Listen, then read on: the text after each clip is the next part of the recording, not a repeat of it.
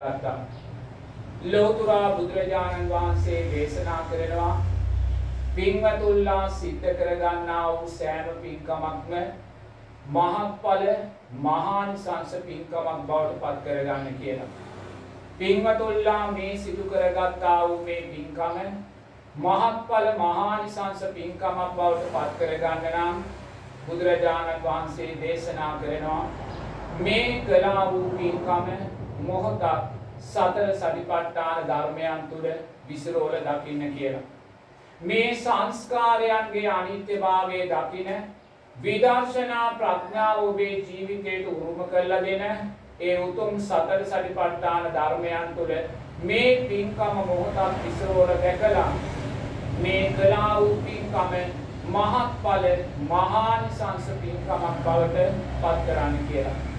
ඒ නිසා පින්වතුල්ලා මොහොතක් මේ සිදු කරගත්තා වූ පින්කම කායානුපස්සනාව තුළ විසිරෝල දකින්න. දැස් පියාගෙන නුවණින් දකින්න. ඔබ මේ පින්කම් සිද්ධ කරන්නේ ලෞතුරා බුදුරජාණන් වහන්සේ මුල් කරගෙනයි.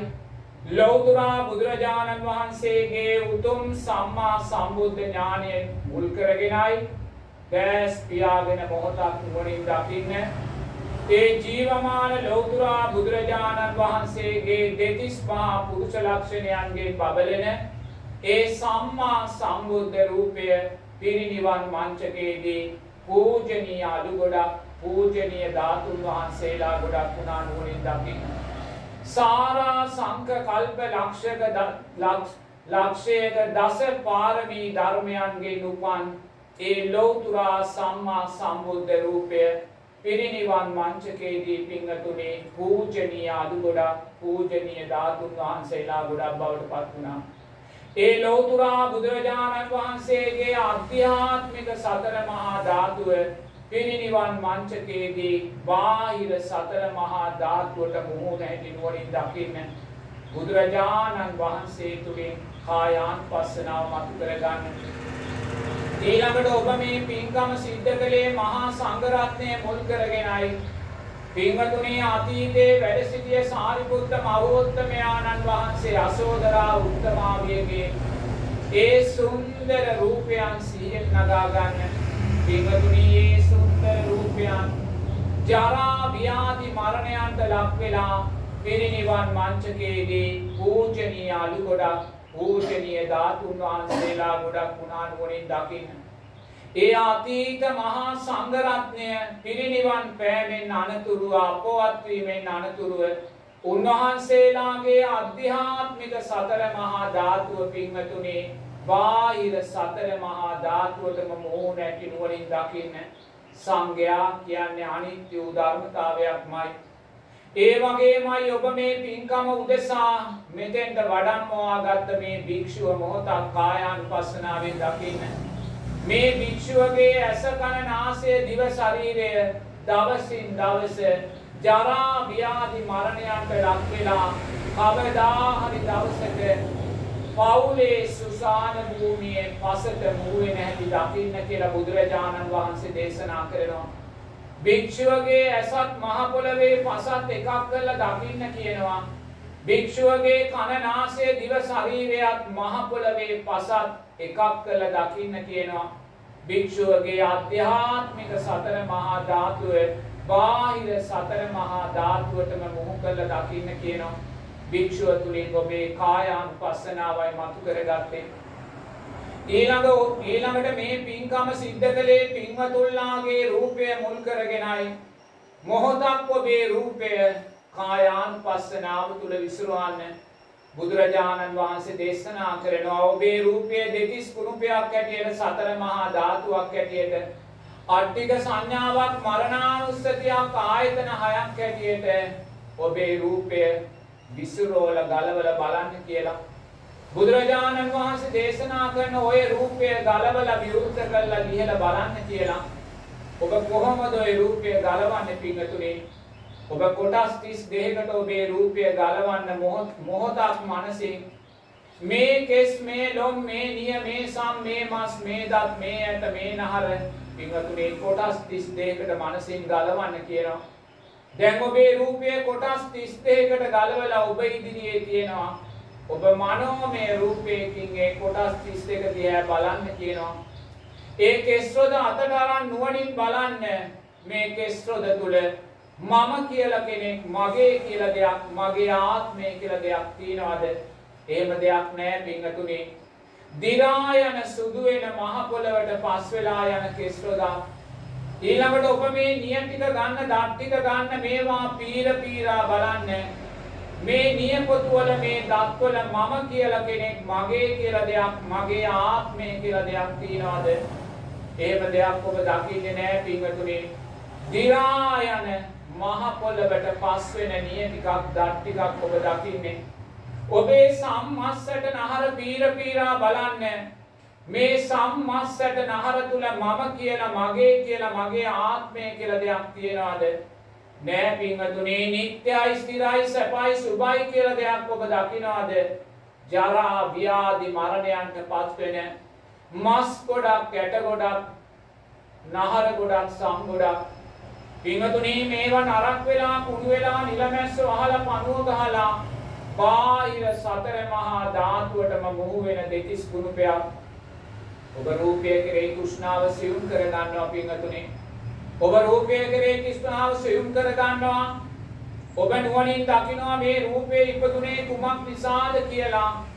පින්වතුනි මේ සලායතනයන් ඉපදුනේ නාම රූප නිසා. නාම රූප කියලා කියන්නේ පංච උපාදානස්කන්ධ ධර්මයන්ටයි.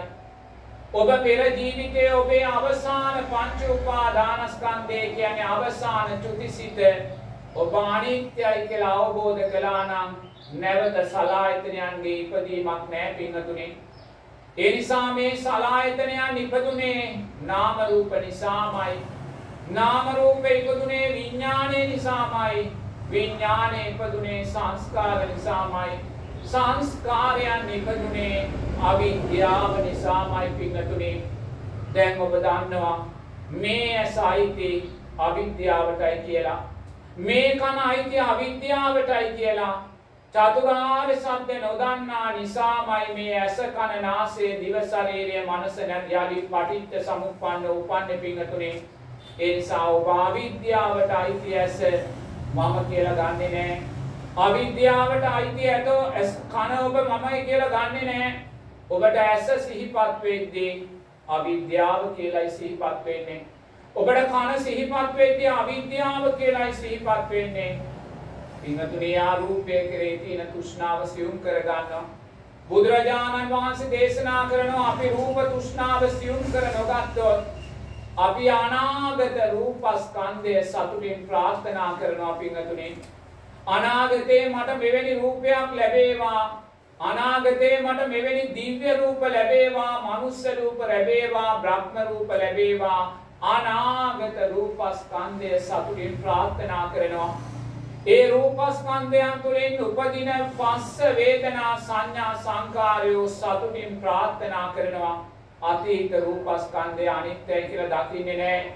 සාරා සංක කල්ප ලක්ෂ ගානක දස පාරමී ශක්තියෙන් උපන් බුදුරජාණන් වහන්සේගේ රූපයත් පිරිනිවන් මංචකයේදී පින්වතුනි පූජනීය අලු ගොඩක් ධාතුන් වහන්සේලා ගොඩක් වුණා කියලා දකින්නේ නැහැ.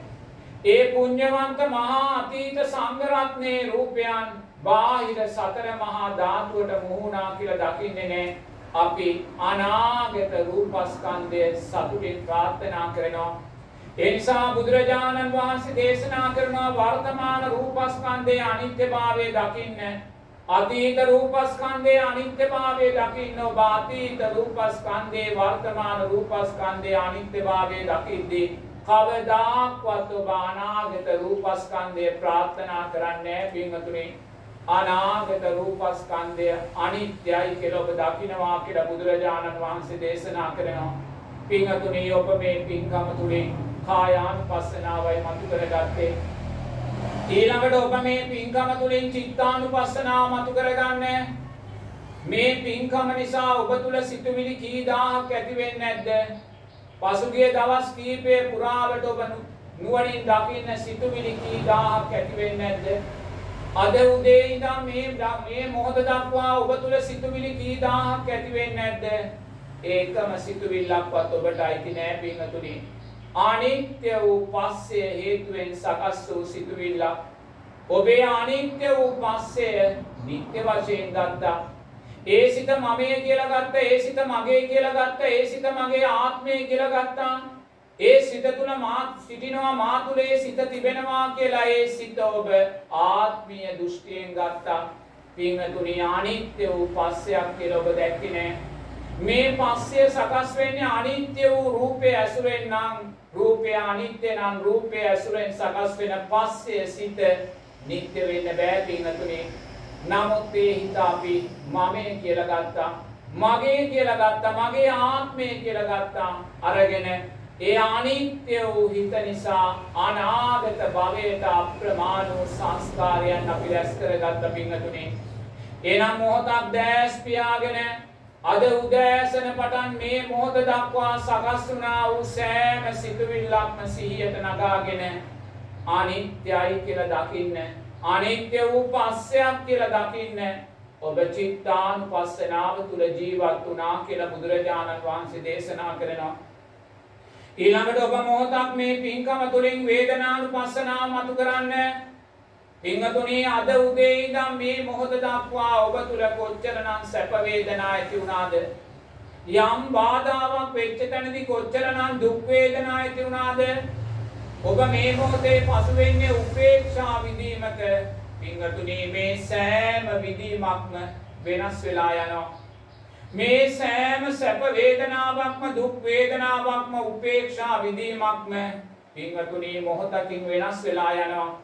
පස්සය හේතුවෙන් සකස් වෙන විඳීම් නිත්‍ය වෙන්නේ නෑ පිංහතුනේ. මොකද පස්සය සකස් වනේ අනිත්‍ය වූ අධ්‍යාත්මික බාහිර විඤ්ඥානය කියන රූපයන් ඇසුරෙන්මයි පස්සේ අනිත්‍ය වෙද්දී විඳීම අනිත්‍ය වෙලා යනවා පිංහතුනේ. නමුත් අපි ඒ විඳීම නිත්‍යයි කියල ගන්නවා. ඒ විඳීම සැපයි ස්තිරයි සුපයි ආත්මයි කියල ගන්නවා. ඒ විඳීම තුළ මා සිටිනවා මා තුළේ විඳීම තිබෙනවා කියලා විඳීම අපි ආත්මීය දෘෂ්ටියෙන් ගන්නවා පින්වතුනි. අරගෙන අපි සැප දුක් උපේක්ෂා විඳීම් නිසාම අප්‍රමාණ වූ භවයට යන සංස්කාරයන් රැස් කරනවා. නමුත් ඒකම විඳීමක්වත් ඔබට අයිති නෑ. ඊයේ දවසේ ඔබ තුල කොච්චර සැප වේදනාවක් නැති වුණාද දුක් වේදනාවක් නැති වුණාද උපේක්ෂා විඳීම් නැති වුණාද ඒකම විඳීමක්වත් ඔබට අයිති නැහැ. නමුත් ඒ ඔබට අයිති නැති විඳීම් ඔබ මගේ කරගෙන අප්‍රමාණ වූ භවයට අපි සංස්කාර රැස් කළා පිංගතුනේ මොහොතක් දැස් පියාගෙන අද උදේ ඉඳන් මේ මොහොත දක්වා සකස් වූ සෑම සැප දුක් උපේක්ෂා විඳීමක්ම අනිත්‍ය වූ පස්සේ හේතුවෙන් සකස් වෙන අනිත්‍ය වූ විඳීමක් කියලා දකින්න ඔබ වේදනානුපස්සනාව තුල ජීවත් වුණා වෙනවා. ඊළඟට ඔබ ධම්මානුපස්සනාව මතු කරන්න. පින්වතුනි මේ සියලු ධර්මතාවයෝ අනිත්‍යයි. මේ සියලු සංස්කාරයෝ අනිත්‍යයි. ලෞතර බුදුරජාණන් වහන්සේ කියන්නේ අනිත්‍ය වූ ධර්මතාවයක් පිරිනිවී ගියා පින්වතුනි. මේ උතුම් ධර්ම රත්නය මේ උතුම් සංඝ රත්නය කියන්නේ අනිත්‍ය වූ ධර්මතාවයන්. මේවා කවදා හරි දවසක ලෝකෙන් අතුරුදහන් වෙලා යනවා. මේ උතුම් චතුරාර්ය සත්‍ය මේ උතුම් ආර්යශ්‍රාංගික මාර්ගය කියන්නේ කවදා හරි දවසක අනිත්‍ය වී යන ධර්මතාවයන්. පින්වතුනි මේ මොහොතේ ඔබ මේ මතු කරගත්ත සම්මා සමාධිමත් හිත තව මොහොතකින් අනිත්‍ය වෙලා යනවා. ඔබ මේ මොහොතේ මතු කරගත්ත සතර සරිපට්ඨාන ධර්මයන් තව මොහොතකින් අමතක වෙලා යනවා. පින්වතුනි මේ සියලු ධර්මතාවයන් අපි තුල වැඩුණේ ඔබ තුළ සකස් වෙන කාය සංස්කාරයෝ වචී සංස්කාරයෝ මනෝ සංස්කාරයෝ තුළින්මයි. පින්වතුනේ රූපය අනිත්‍ය නම් රූපය ඇසුරෙන් සකස් වෙන කාය සංස්කාරයෝ වචී සංස්කාරයෝ මනෝ සංස්කාරයෝ නිත්‍ය වෙන්නේ පින්වතුනේ ඒ සියලු සංස්කාරයනොත් අනිත්‍ය වූ ධර්මතාවයන්මයි. එහෙමනම් මේ සියලු ධර්මතාවයන් තුළින් අපි කවදා හරි දවසක ලබන උතුම් සෝවාන් සකුරුදාගාමි අනාගාමි අරිහත් ඵලයන් කියන්නේ ආනිත්‍ය වූ ධර්මතාවයන්මයි පිංගතුනි මොහොතක් දැස් පියාගෙන නුවණින් දකින්න ලෞතර බුදුරජාණන් වහන්සේගේ පටන් කවදා හරි අපි ලබන උතුම් චතුරාර්ය සත්‍ය අවබෝධය දක්වා ආනිත්‍ය වූ ධර්මතාවයන් නම් බුදුරජාණන් වහන්සේ දේශනා කරනවා. මේ අතීත වර්තමාන අනාගත පංච උපාදානස්කන්ධ ලෝකයේ තුල මමය මගේ මගේ ආත්මය කියලා තෘෂ්ණාවෙන් උපාදානය කරගන්න කිසිම ධර්මතාවයක් නැහැ කියලා සාදු කියන්නේ. සාදු